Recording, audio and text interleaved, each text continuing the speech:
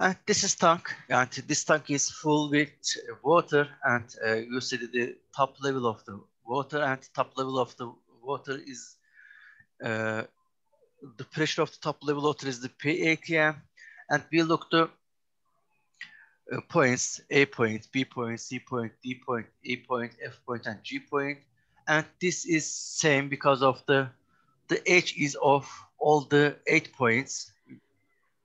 All the seven points is same. Therefore, PA, PB, PC, PD, PA, PF, PG is equal to PATM atmospheric pressure plus density, uh, acceleration, gravity, and H. And depth is calculate like that. All the P is same. But PI is greater than the PA, PB, PC, PD, PA, F, and G. But if we think that, uh, and I'm going to ask you, the pH is similar to, also is the pH are, is the similar to PI or not? It's not similar because density of mercury is higher than density of water. Therefore, pH is uh, not equal to PI. Therefore, we can say the pH is greater than PI. Okay, you're right. Now, what about the Pascal law?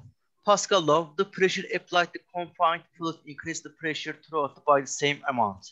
It means that if we uh, lift up the car, we use the small forces with small areas.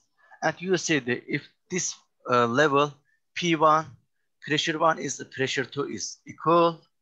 Therefore, pressure one is F1 divided by A1 and pressure T is the F5 divided by A2. Therefore, in order to get the high force to get uh, force 2, we need to use the small F1, small force, this is the F1. And the ratio, the ratio, the area ratio of A2 divided by A1 is called the ideal mechanical advantage of hydraulic lift. This is the hydraulic lift, and we uh, lift up the car with a small forces. Okay. And this is the manometer. And the manometer is commonly used to measure the small and moderate pressure differences. Moderate means a little, e, yani aslında ılımlı demek ama ya da şey demek. Small means um, small means small but moderate means uh, a little bit bigger than the small. Uh, it's common to use to measure small and moderate pressure differences. A manometer contains one or more fluids such as mercury, water, alcohol, or oil. As you see here, this is the mercury here. And we look the manometer here. This is the PATM fluid one, fluid 2 and fluid 3 and it uh, also they have a uh, each length for fluid 1 uh, each height we, I'm sorry. And fluid 1 each its height h1 fluid 3 is its height h2 fluid 3 is its height h3 therefore in order to calculate this point uh, the pressure one is this for this point PATM density 1, uh, G and H1, and density 2, G and H2, and density three G and H3. Okay, you know that this is the simple one. And what about the basic manometer? You see here gas, and you see the, the, the, this level, the one level or two level. No, one. Pardon? The, this level pressure one and pressure two is same. Therefore, we calculate the pressure two here. Pressure two is uh, PATM. Here, because of the the bear is open the atmospheric pressure. PATM plus density, uh, acceleration, velocity, and height. And what about the uh, channel flow or duct flow. We can say this is the channel flow and this is the uh, pressure one, this point, and we calculate the uh, this point pressure and we uh, calculate the, this one pressure uh, point two. And this is the, we, we calculate the uh, 0.2 pressure. And the fluid is passed through the channel or duct. It's not important. And if you know the, also we can uh, write this formulation here first and let me follow me. And this is the pressure one plus, this is because fluid here, rho one, G plus A plus H. A is the distance, one distance, H is the other distance. And minus, because this pressure is equal to this pressure, and minus in order to calculate the pressure two minus rho 2 because of the rho 1 is different to rho 2 because this may, maybe this is fluid, this is the mercury again. Okay, uh, and rho 2 minus rho 2 acceleration gravity and h, you see the h. And if we uh, minus this rho 1 G and this is the A because of the length of this and we get the P2. Also, if we know the P1, we get the P2. If we know the P2, we get the P1. Okay. Also, the difference between the P1 and the P2 is calculate the rho 1 minus rho 2 in the parentheses and multiple the gravitational acceleration multiple h. Okay. And this is the example this is a very simple example. A manometer is used to measure the tank, the pressure in a tank. And the fluid is used to has a specific gravity of 0.85. Do you know the what is specific gravity of? Huh? Do you know of this specific gravity? Here is specific gravity. Maybe you remember of this. Here, specific gravity. Okay, I copy this formula here. Okay, now we calculate this. Again, a, a manometer is used to measure the measure the pressure in a tank. The fluid used has a specific gravity of 0. 85 and the manometer column is height 55 centimeter. If the local atmospheric pressure is uh, 96 kilopascal, determine the absolute pressure within the tank. Okay, first of all, we have to calculate the uh, rho of this fluid because of the, this is the specific gravity of 0.85. And uh, if you calculate this rho, and we know the specific gravity of uh, specific gravity value, and we know the rho water at four temperature. We know this one, 1000 kilogram divided by meter cubic. And we got the, this fluid uh, density is 750 kilogram divided by meter cubic. And therefore, we know that this density, we know also we know this density of the fluid.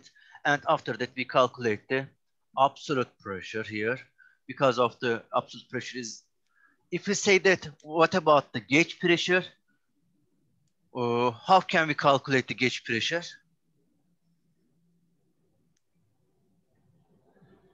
Rho GH. Yeah, at the time we calculate the rho GH, but the problem uh, ask us to what about the absolute pressure? Therefore, absolute pressure is the P80M plus rho GH. And the atmospheric pressure is the 96 kilopascal. After that, the uh, gauge pressure here. This is the rho. This is the acceleration gravity, and this is the uh, height. 55 centimeter is the 0 uh, 0.55 meter, and this is the absolute pressure is the 1 100.6 kilopascal. Okay. And this problem uh, ya size bırakıyorum bunu çözmeniz için. Okey. Siz bunu kendiniz çözün. Kolay işte bir yandan çıkartıp bir yandan toplayacaksınız. Biraz daha işte yukarı çıkarken çıkartacaksınız. Aşağı gelirken toplayacaksınız. Onu yapın. Şimdi şey gelelim. Other pressure measurement devices. Board on top uh, measured devices. And this is also various type of Bourdon tubes used to measure to measure in order to measure pressure. Consist of the hollow a metal tube bent like a hook whose end is closed and connected to a dial indicator needle. This is also mechanical, but the other one is also electrical pressure transducers use various techniques to convert the pressure effect to an electrical effect such as changing voltage, uh, resistance, or capacitance. Pressure transducers are smaller and faster, and they can be more sensitive, reliable, and precise than their mechanical counterparts. Bu şey diyor, buradakiler mechanical, Bourdon tüpler ama buradakiler daha elektrik diyor ve buradaki elektrikteki küçük voltajdaki işte dirençteki ve de kapasitedeki değişiklikler bize pressure'ın değiştiğini söylüyor. Ve burada daha küçük, daha hızlı, daha duyarlı, daha yani uygun, yani reliable'a daha dayanıklı aslında diyebiliriz. Daha e, accurate ya da tam, tam çözümler yapılabilir diyor kendi mekanik eş değerlerine göre. And strain gauge pressure transducers work by having a, having a diagram deflect between two chambers upon the pressure. Impulse yani iki tane böyle bir e, şey var diyelim, yüzey var diyelim. Bunların arasında diagram diyelim. Bunların arasındaki git gelçemlerle hesaba katıyor. The other one is the piezoelectric transistors, also called the solid state pressure transducers. Work on the principle that electric potential is generated in a crystalline substance when it's subject to mechanical pressure. Bunu şöyle benzetebilirim, biraz Türkçesini açıklayayım. Nasıl bizim hard disklerimiz var, dönen hard disklerimiz. Bu da solid state, bir de solid state hard disklerimiz vardı. İşte dönmeyen, daha böyle düşünce e, hazırlanmayan hard ve daha hızlı çalışan hard disklerimiz var ya. Aşağı yukarı pressure transducers, piezoelektrik transducers aşağı yukarı birbirine benziyor. İkisi de elektrik prensibiyle çalışıyor. Ama bu daha e, reliable, daha hızlı, daha şey olarak karşımıza çıkabiliyor. And what about the barometer and atmospheric pressure? Do you know the barometer and uh, who found who had found the barometer? You know this? Maybe in high school knowledge? Torricelli from Italy you know this?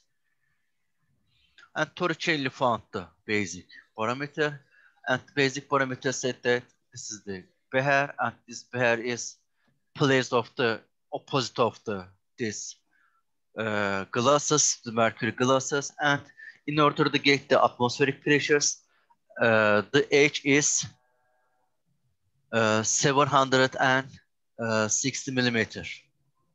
Okay, after that we gauge the atmospheric pressure. But in this situation, the Beher uh, section R is not important here because of the, this is the A1 is greater than the A2, A2 is greater than the a3, it means the section of, uh, if we, uh, uh, also we can say the A1 is the greater than the A2, A2 is the greater than the A3, but all the height is the same because of the, uh, we can set, therefore we can set this the, the uh, cross section where area is not important for calculating the atmospheric pressure in barometer. Okay. Now, this is the Another example. And let me calculate this and determine the atmospheric pressure at location where the barometric, uh, barometric reading is 740 millimeter Hg mercury and the gravitational acceleration is G is 9.81 uh, meter divided by second square. Assume that the temperature of mercury to be 10 centigrade degrees, at which density is 13,570 kilogram divided by cubic meter. This is also a uh, simple problem. They said that what is the PATM, atmospheric pressure? Atmospheric pressure is the density of mercury gravitational acceleration and the h. h is the, you set the uh, 740 millimeter, it means 0.74 meter. That's why our atmospheric pressure is 98.6 0.5 kilopascal. Okay, this is so simple question. And what about the, uh, this problem? The piston of a vertical piston. Piston cylinder device containing a gas has a mass of 60 kilogram. This is the atmospheric pressure and gas has 60 kilogram. And the cross-sectional area of 0.04 metric square and the local atmospheric pressure is um, uh, 0.97 bar and the gravitational acceleration is like this. Determine the, the pressure inside of the cylinder, just the one question. And the other one is if some heat is transferred to gas and its volume is doubled and this volume is doubled here, do you expect the pressure inside of the cylinder change? First of all, we calculate the what about the pressure inside the cylinder. We make the diagram here uh, near the cylinder. Here's the PATM, and this is the cylinder weight here, cylinder because of the cylinder mass, and it can have it has a weight. W is equal to mg, and this is the pressure of the water, and this pressure is exactly uh, perpendicular the uh, cylinder. And we make the, again the force uh, balance in z direction, also in the atmosphere uh, pressure direction. We can say the in z direction again. And PA is the plus is equal to PATM in the uh, in the side of the gravitational side, PATM multiple A plus W. And they said the pressure of the inside of the cylinder. Therefore, we we have found the P, this P. Also, uh, if we, in order to get the, this P, we divide it by the A, all of all this formulation, and P is equal to PATM plus mg divided by cross-sectional area of cylinder. PATM is the 0.97 bar. This is the bar. Maybe we can say that 0.97 uh, 10 to the power 5 Pascal, it means. And this is the 60 kilogram cylinder. This is the G, and this is the A. And if you calculate this in bar uh, units, and we get the 1.12 bars. Also, I am going to explain in Turkish uh, for units. Çocuklar burada bar diye nitelendirmiş. Siz bunu üzeri 5 Pascal diye yapabilirsiniz. Ben, ben olsam bas, Pascal bulup çünkü buranın sonucu aslında Pascal. Burayı 10 üzeri 5'e bölmüş. Bu termodinamik kitabındaki gariplik şöyle. Ben çok garipsiyorum bu tür gösterimi siz şey bulun. Ya burada Pascal diyorsa bunu Pascal diye bulun. En sonunda bara çevirin. Burada zaten bar yazmış. Bunu da 10 üzeri 5'e bölüp bar diye bulmuş burada. Ama siz bunu böyle yapmaktansa bunu Pascal bulun. Bunu da Pascal bulun. Son sonucu Pascal bulup sonradan bara çevirmeniz benim için ya da ben kendi açımdan açıklamak gerekirse daha uygun olarak göre zaten ben önümdeki çözümleri hep böyle Pascal yapıp en sonunda da şey bulmuşum, bara çevirmişim. Now The other problem is the, the other question is if some heat is transferred to, to the gas and its volume is doubled, do you expect the pressure inside of the cylinder change? What about, first of all, you explain this. What about if the volume is uh, goes to multiple, to, what about volume is doubled, I mean that. What about the pressure inside the cylinder? What about the? Isn't it the same? Because the piston moves, right? Uh-huh. Uh, because of the piston's movement, it stays the same. Why? RE is not changed. They said that only volume is doubled, but the uh, pressure is not, also this diagram is not changed because PATM is here, uh, the weight of the cylinders is here and this atmosphere, uh, the pressure of the uh, inside of the cylinders here. Therefore, there is no changing. Therefore, we can also hence we said that the uh, we can say that the uh, the pressure is not changed if the volume is doubled. Okay, the volume change will have no effect on the free body diagram drawn in part A and therefore the pressure inside of the cylinder will remain the same. Yani volüm iki, hacim iki katına çıkarsa buradaki diyagram değişmediği için çözüm de değişmeyecek olarak karşımıza çıkıyor. Tamam. Now, this is the last question. This is also a good question. Solar ponds are small artificial lakes, a few meters deep that are used to storage solar energy. The rise of the heated water to the surface prevented by adding salt at the bottom and pond bottom. In the typical salt gradient solar pond, the density of water increases in the grad zone and density can be expressed as this formulation. Where the rho zero is density on the water surface, Z is the vertical distance measured downward from the top of the gradient zone and H is the thickness of the gradient zone. From H 4 meter and uh, density is 1040 kilogram divided by meter cubic and the thickness of the uh, 0.f meter for surface zone. Calculative gauge pressure at the bottom of the gradient zone. Şöyle bir şey varmış arkadaşlar. Türkçesini çevirelim. Bu güneş enerjisini depolayan bir tuz havuzu. Tuz havuzunun da üç farklı bölge varmış. Yüzey zonu, değişken gösteren gradient zone ve de depolama zonu. Gradient zone. Gradient zone'daki density yüzeye göre değişiyor. Z ve H'ye göre yani aslında Z'ye göre değişen şeydeymiş. Ve diyor ki bizi tam bu noktada gradient zone'un en alt noktasındaki şey noktasına verin diyor. E, basıncı verin diyor. Ve şuradaki noktada 0.8 metreymiş. Surface zone'un yüksekliği de 0.8 metreymiş. Şimdi bunu çözelim. First of all, we calculate the uh, let me, I am going to, ha, okay, okay. I put this figure here because of this important to explain this. First of all, we calculate the P1. Only we calculate the in the in at the bottom of the surface zone.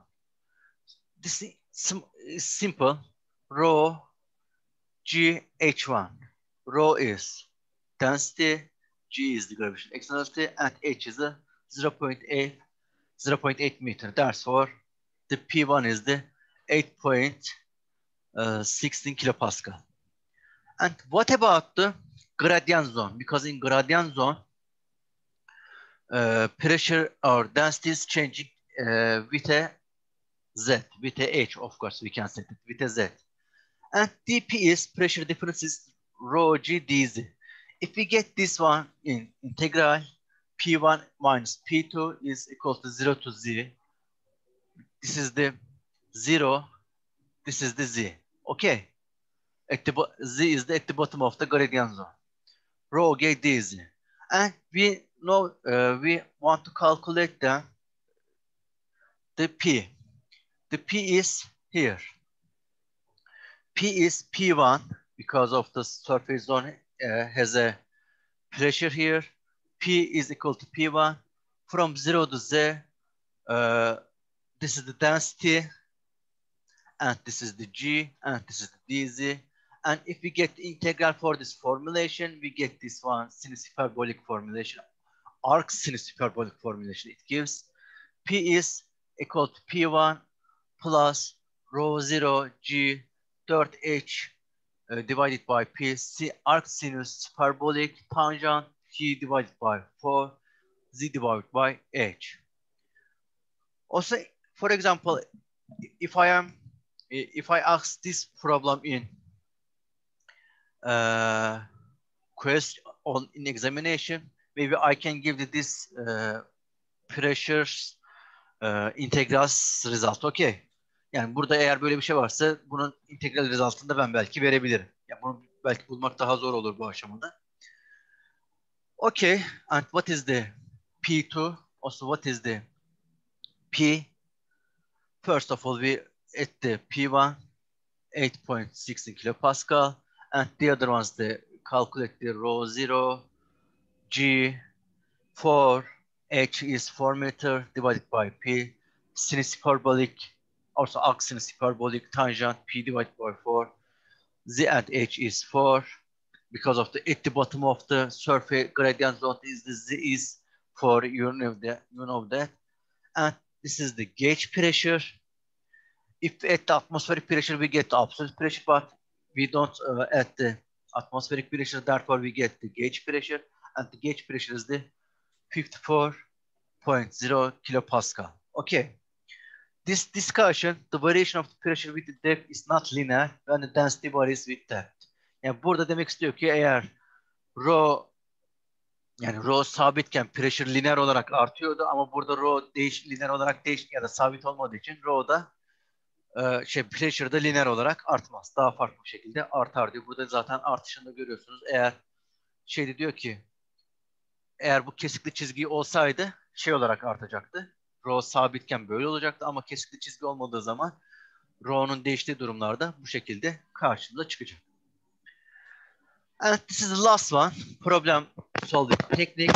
You know this. First of all, you find, you look the problem and you understand the problem. What is the problem? And you uh, define the problem start statement. After that, you get the schematic figure like this. For example, our problem is here. We get the what is the inside of the pressure and we make the schematic diagram. Here, this problem here and we make the schematic diagram. And after that, we make the assumptions and approximations. For example, assumption is steady state flow is assumptions. Also, rho is constant is assumptions. Compressible flow is assumptions. The incompressible flow is also another assumptions. And assumption approximations uh, have to be determined. After that, we use the formulation physical laws. I mean, pressure calculate like this, temperature calculated like this, energy is calculated like this, something like that. And properties, we'll look to properties and we look to tables. For example, uh, we need the zero point uh, in temperature 100 and we look to melt point in the water, for example, and we look the properties of tables. And after that, we calculate with this uh, schematics, with this approximatics, with this physical laws, with these properties. After that, we make calculations. And finally, we uh, make the, we get the reason and we have make the verification and we make the discussion. Yani sonu şöyle açıklayabilirim. Bunları yaptıktan sonra sonuçlar alacağız. doğrulayacağız ve tartışacağız. Okay. And this is the summary and we finished our lesson. This is the summary. We make the thermodynamics and energy. We know the basic. We know the basic term. After that, what is the SI units and what is the English units? But firstly, also we uh, SI units is more important than the English unit. And we know that what about the system and control volumes? And what about the properties of system? And we know the density the gravity, specific gravity. And we know the, in this lesson, uh, I'm going, uh, I explained that uh, what about the state and equilibrium and the state of postulate. And we know the process and cycles. And we know the temperature and zero law of thermodynamics. And finally, we know the pressures and the manometer and atmospheric pressure. And finally, we know the problem solving techniques. And we finished our lessons.